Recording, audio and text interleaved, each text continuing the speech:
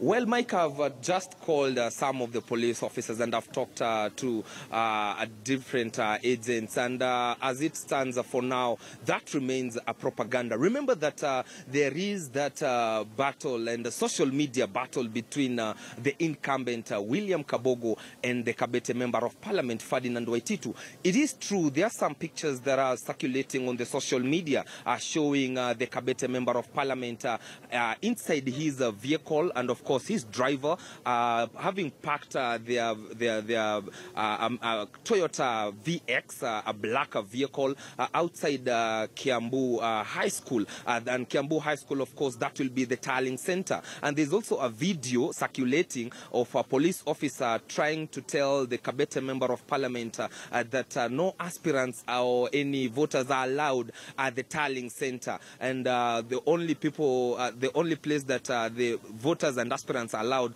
is that the voting places or the voting, uh, uh, uh, the voting uh, areas, uh, which are most of them are, are primary schools. And uh, of course, at the tallying Center, the exercise will come much later uh, when the tallying will have already started. That will be at around after 5 p.m. And that video has been circulating, and the information going round is that uh, uh, Ferdinand Waititu, that's the member of parliament for Kabete, has been arrested. But uh, uh, those still remains uh, rumors and propaganda. And there's so much stories ongoing in the social media, and of course, the fight between uh, the two. Uh, it has now moved uh, from the ground, and now it's on the social media. and this there'll be so much stories that will be flying during the day, and of course, we'll be on the ground just to let our viewers know the true picture. And of course, all eyes will be on the gubernatorial seat, notwithstanding that we have uh, 12 uh, uh, elective seats. That's for the parliamentary, and of course, the women rep and uh, the senatorial seat. Uh,